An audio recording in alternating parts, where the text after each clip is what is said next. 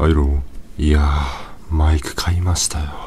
これでこの壁一枚隔てた音質の悪い声と青空部ですよ。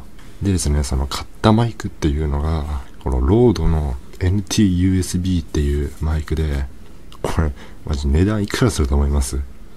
これ、1万7000円ですよ。やばくないですか？マジ、俺のヘッドセットとかマウスを合わせた値段でも1万7000なんかに届きませんし、もうなかなか思い切った買い物をしましたね。